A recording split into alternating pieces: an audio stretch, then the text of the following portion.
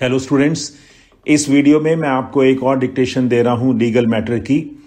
और ये legal matter है एक्सरसाइज नंबर थर्टी फोर और 102 वर्ड्स पर मिनट पर है point eight minutes and 590 words और इसमें शुरू में डिक्टेशन है उसके बाद जो है आउटलाइंस हैं जो भी इम्पोर्टेंट मेरे हिसाब से हैं uh, वो मैंने अपने आप चुन के उसमें दी हैं। और आप पहले अपनी ट्रांसक्रिप्शन करिए डिक्टेशन लेके। डिक्टेशन लेने के बाद रीडिंग ज़रूर करिएगा। जितनी देर की हो, उतनी देर की आप रीडिंग करिए। उसके बाद ट्रांसक्राइब करिए और प्रेफरेबली कंप्यूटर पे करिए। और उसके बाद उसको चेक करना है। और चेक करने के बाद जो आपको आउटलाइन जिसकी ज़रूरत पड़े, जो आपको नहीं आती हो, वो आप बाद में उसमें देख सकते हैं। जो आउटलाइंस पहले प्रीवियस डिक्टेशंस में कवर की हैं मैंने, उनको मैंने रिपीट नहीं किया। और उसके बाद आउटलाइंस जो हैं, ये 400 वर्ड्स तक की हैं, जैसे मैंने पिछले वीडियोस में दिया है। क्योंकि ये मैंने आउटलाइंस बनाई थी 80 वर्ड्स पर मिनट वालों के लिए 400 वर्ड की हैं। उसके बाद जो भी 200 वर्ड के आसपास होंगे, वो प्लीज़ आप खुद मैनेज कर लीजिएगा। और मैंने अपनी तरफ़ से आउटलाइंस को भी समझाने की कोशिश की और जहाँ हो सका मैंने मीनिंग भी बताया है। उसके बाद आप आउटलाइंस को समझिए पहले। और फिर उनकी प्रैक्टिस कीजिए और फिर पैसेज को आप रीराइट करिए ओरिजिनल स्पीड पे या इंक्रीज करके। ऐसे करने से आपको इम्प्रूवमेंट दिखेगा, इतना मैं श्योरली कह सकता हूँ। और मुझे उम्मीद है कि आपको यूज़फुल लगेगी। दैट्स ऑल तो अब मैं शुरू करता हूँ dictation thank you please get ready for a dictation of exercise number thirty four from the legal material five seconds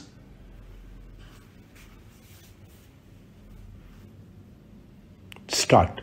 The plaintiffs have filed the present suit for specific performance of the alleged agreement to sell in respect of property bearing number 54 Golf Link New Delhi stop. The total agreement was for rupees 14 crores out of which rupees 6 crores were admittedly paid by the plaintiffs to the defendants and the remaining rupees 8 crores were also deposited in this court by the plaintiffs and are lying in this court. Stop. The main case of the defendant is that the alleged document is a memorandum of understanding which cannot be termed as agreement as there was no proper authorization to the person who signed the MOU in respect of the suit property, nor the Board of Management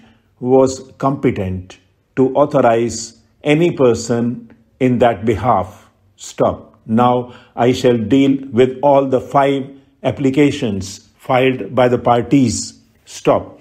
The first application has been filed by the plaintiffs mainly on the ground that the defendant is trying to delay the proceedings on several reasons and there has been an increase in price of the property which has taken place and may also take place in future when the suit comes up for hearing. And in order to avoid any such defense of increased property rates at the final stage of the suit and in order to show bona fide the plaintiffs who have always been ready and willing to pay the balance consideration have deposited the balance sum payable under the agreement to sell to the tune of rupees 8 crores.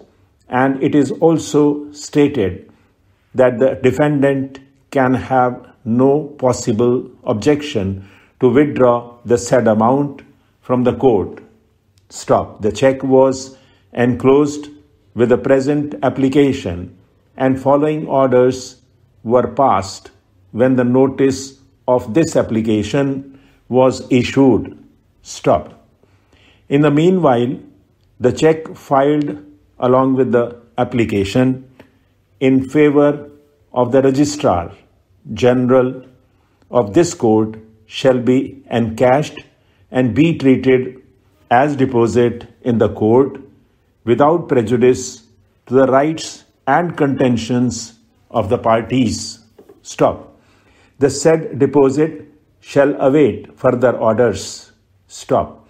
The defendant, on the other hand, has opposed the application on the ground that since there is no contract between the parties and the alleged document dated 3 12 2003 is merely a MOU, and since a pre contract under the law is not a contract, therefore the suit itself is liable to be dismissed, and the plaintiffs should not be allowed to deposit the said amount and the amount already deposited by the plaintiffs should be returned to the plaintiffs due to the reason that the suit itself is not maintainable.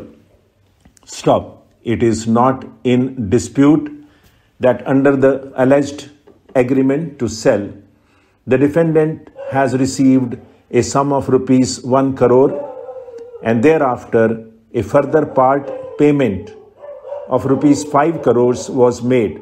Stop. Out of the agreed price of rupees 14 crores, the defendant has admittedly received rupees 6 crores. Stop. Admittedly, the defendant has not filed any suit under section 27 and 31 of the Specific Relief Act 1963 for rescission of the contract, which is the remedy available to the defendant. Stop. The present suit is also not a suit with the alternative prayer of damages. Therefore, in view of the mandate of the law, no prejudice would be caused to the defendant in case the said amount is deposited with this court. Stop. Since the defendant is not ready to accept the said balance consideration, the amount already deposited by the plaintiffs with the Registrar General of this court shall be kept in FDR for a period of one year. Stop. The application is disposed of accordingly. Stop. अब देखते हैं outline इसी exercise 34 की सबसे पहले है प्लेंटिफ्स देख रहे हैं प्लेंटिफ्स प्लेंट लिखना है छोटा और उसके बाद एफ़ एस प्लेंटिफ्स नेक्स्ट है एग्रीमेंट टू सेल हालाँकि आउटलाइन सिंपल है लेकिन मैंने इसलिए दिया है कि एग्रीमेंट टू सेल में ए और एस जो है वो कैपिटल आएगा। क्योंकि एक आ, क्या कहूँ जैसे एम होता है वैसे ही एक एक्सेप्टेड प्रेवलेंट एक्सेप्टेड ये एक टर्म है। सब जानते हैं एग्रीमेंट टू सेल होता है।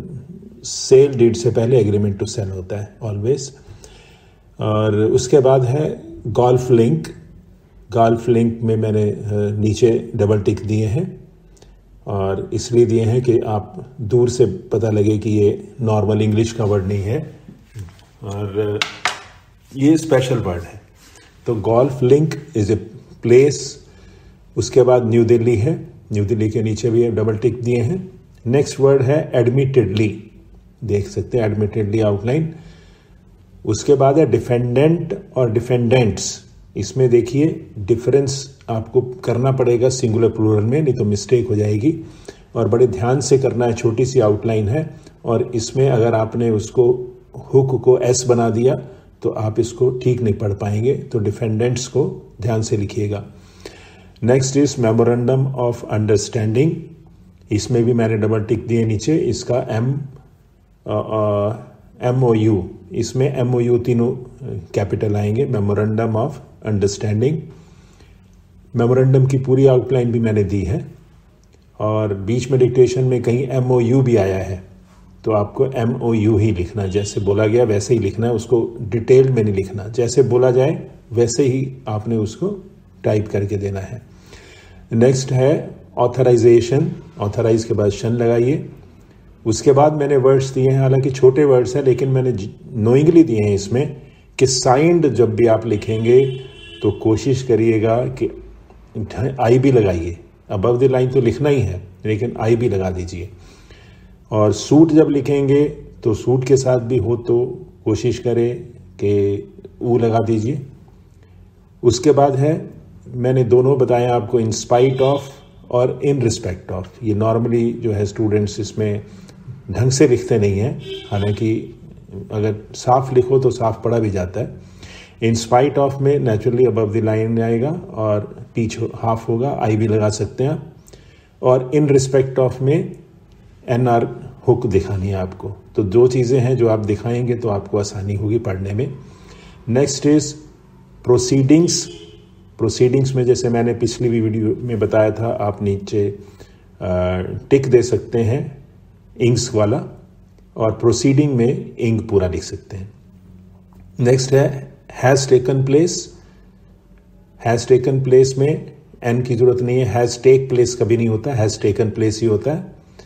तो ग्रामेटिकली भी इनकरेक्ट है। तो हैज़ टेकन प्लेस और इज़ टेकिंग प्लेस ये दोनों मैंने डिफ्रेंशिएट करके बताए हैं। नेक्स्ट है इन ऑर्डर टू ये भी बहुत छोटी आउटलाइन चाहिए आपको और अबव द लाइन चाहिए। और जिनको इसमें मुश्किल होती है, इसको लिखने के बाद इसको काट सकते हैं टू अंडरस्टैंड कि हाँ इन ऑर्डर टू है। अवॉइड को आपने अबव द लाइन और वी हाफ़ लिखना है और वाई लगा दीजिए तो आपको और क्लियर रहेगा। नेक्स्ट आउटलाइन है ऑलवेज बीन ये आप ज्वाइन कर सकते हैं। नेक्स्ट आउटलाइन मैंने दिखाई है आपको। Register registered registration registrar registrar का मैंने सब्सटीट्यूट भी आपको दिया है रजिस्ट्रार तो इसमें से रजिस्ट्रार के दोनों में से जो आप लेना चाहें ले सकते हैं और बाकी आपको डिफ्रेंशिएट करने के लिए मैंने आप समझाया है, ध्यान रखिएगा. उसके बाद मैंने वर्ड लिया है एनकैश्ड अब एनकैश्ड में एस एच हाफ़ आएगा, लेकिन उसको और क्लियर करने के लिए आप उसको एनकैश जल्दी में लिख के उसको आप काट सकते हैं। एनकैश्ड ट्रीटेड ट्रीटेड में टिड लगाइए साथ में ट्रीटेड नेक्स्ट है इन फेवर ऑफ़ द अगर इन फेवर ऑफ़ हो तो द वाला टिक नहीं लगाना।